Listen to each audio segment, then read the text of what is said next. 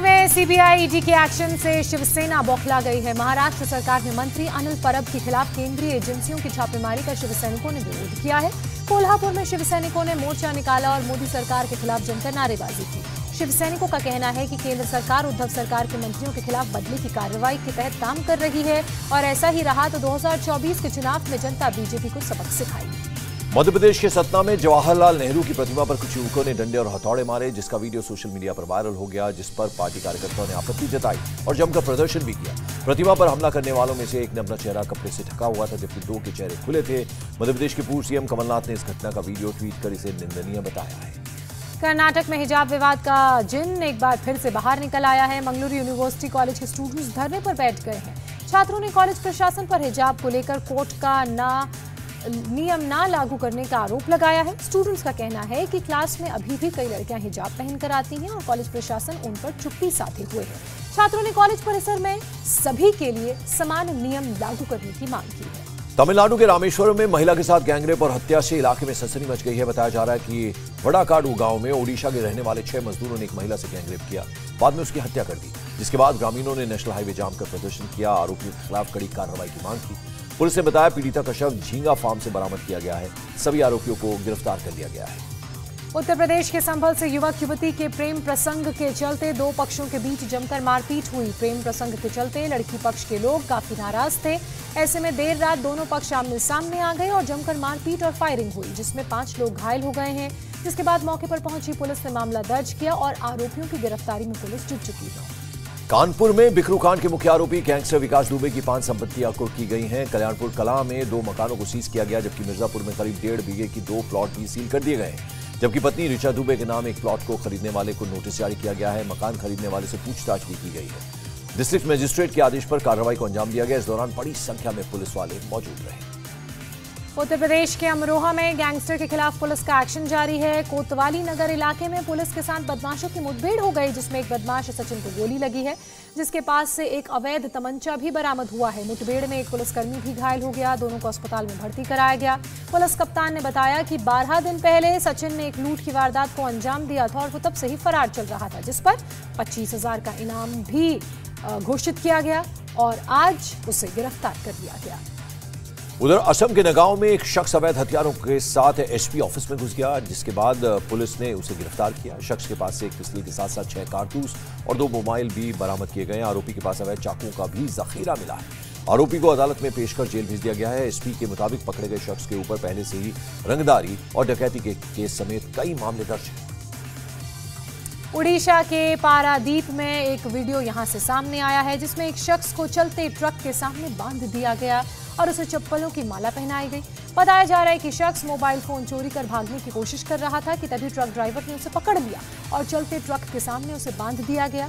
Video viral होने पर कार्रवाई करते हुए पुलिस ने आरोपी ट्रक ड्राइवर और हेल्पर को भी गिरफ़्तार कर लिया है।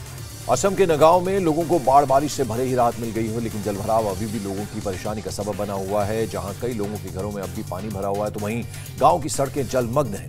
ऐसे में लोगों का आम जनजीवन अस्त व्यस्त हो गया है और लोग अपने घरों में कैद हो गए चंबा में रावी नदी के ज़रिए रास्ता पार करने की कोशिश, जेसीबी ड्राइवर को महँगी पड़ गई।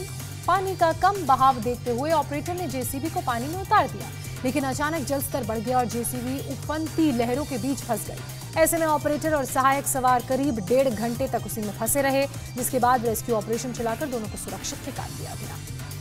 यूपी में डिप्टी सीएम और हेल्थ मिनिस्टर के ताबड़तोड़ एक्शन के बावजूद स्वास्थ्य महकमा सुधरने को तैयार नहीं है। गोना में फिर एक बार बदहाल हेल्थ सिस्टम की पोल खुलती नज़र आई, जहाँ एंबुलेंस न मिलने के चलते गरीब को अपने बीमार पिता को कंधे पर बिठाकर ले जाना पड़ा।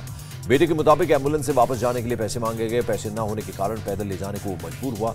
वहीं हॉस्पिटल की सीएमएस ने बताया कि वे लोग बिना बताए चले गए और अस्पताल से हर मरीज़ को एंबुलेंस नहीं दी जाती। नागपुर में एक अस्पताल की बड़ी लापरवाही सामने आई है, जहाँ थैलेसीमिया से पीड़ित चार बच्चों में एचआईवी की पुष्टि हुई है। जिनमें से एक बच्चे की मौत हो गई। आरोप है कि बच्चों को खून चढ़ाया गया था, जिसके बाद बच्चों में एचआईवी होने की बात सामने आई। अस्पताल प्रशासन का ये कहना है कि वो मामले की जाँच करेंगे और आरोपियों के खिलाफ सख्त से सख्त कार्रवाई करेंगे। छत्तीसगढ़ सरकार ने नक्सल प्रभावित इलाकों में विकास की नई योजना ज़मीन पर उतारी है। दंतेवाड़ा ज़िले में नक्सल पीड़ित परिवारों के लिए देश का पहला आवासीय कॉम्प्लेक्स बनकर तैयार हो गया है। इसमें नक्सल प्रभावित और सरेंडर करने वाले परिवारों को पुनर्वास के लिए घर दिए जा रहे हैं। घरों के अलावा यहाँ बच्चों को पढ़ाने के लिए आंगनबाड़ी मार्केट और रोज़गार के कई तरह की ट्रेनिंग दी जा रही है। सीएम भूपेश बघेल ने इस योजना का उद्घाटन किया है। गुरुग्राम के सेक्टर 17-18 के एक स्क्रैप के गोदाम में आग लग गई और देखते ही देखते आग ने पूरे गोदाम को अपनी चपेट में ले लिया। गोदाम में बड़ी मात्रा में कबाड़ होने के कारण आग जल्दी फैली। धू धू कर जलते गोदाम से धुएँ का काला गुबार आसमान में उड़ता नज़र आया। मौके पर फायर ब्रिगेड की टीम पहुँची और आग पर काबू पाने की कोशिशों में जुट गई। आग से किसी के हताहत होने की फ़िलहाल कोई सूचना नहीं है। हैदराबाद में दर्दनाक सड़क हादसा हो गया। यहाँ मदनपल्ले गाँव के पास एक कार पुलिया से टकराकर पलट गई। इस हादसे में कार सवार चार लोगों की मौके पर ही मौत हो गई, जिसमें दो बच्चे भी शामिल हैं। पुलिस के मुताबिक तेज रफ्तार से जा रही कार पुलिया से टकराई, पलटकर खाई में जा गिरी। मरने वाले लोग मदनपल्ले गाँव के रहने वाले थे और सभी एक ही परिवार के थे। पुलिस की टीम हादसे की जाँच में जुट गई। सेना में महिलाओं को भर्ती की छूट मिलने के बाद महिलाओं ने सैन्य क्षेत्र में इतिहास बनाना शुरू कर दिया है। हरियाणा की रहने वाली कैप्टन अभिलाषा बराक लड़ाकू विमान उड़ाने वाली पहली महिला कैप्टन बनी है। अभिलाषा बराक ने नासिक में combat army aviation training school में एक साल की ट्रेनिंग ली है। पासिंग आउट परेड में लेफ्टिनेंट जनरल अजय कुमार सूरी ने अभिलाषा बराक समेत 36 पायलट्स को विंग्स पहनाकर सम्मानित। कोटियम के एक युवक ने साइकिल से केरल से कश्मीर की यात्रा कर मिसाल पेश की। छह महीने पहले महज पंद्रह सौ रुपए लेकर अपने घर से निकला युवक। अपनी यात्रा पूरी कर वापस लौट आया है। युवक ने ऑल इंडिया साइकिल ट्रिप के तहत अपनी ये यात्रा पूरी की। युवक का कहना है कि अपनी यात्रा के दौरान उसने करीब दस राज्यों को पार किया। बिहार के जमुई की दिव्यांग बेटी सीमा ने अपने हौसलों से मुसीबतों को पीछे छोड़ दिया। खैरा प्रखंड के फतेहपुर की रहने वाली महादलित परिवार की किरण मांझी की बेटी सीमा एक पैर से दिव्यांग है।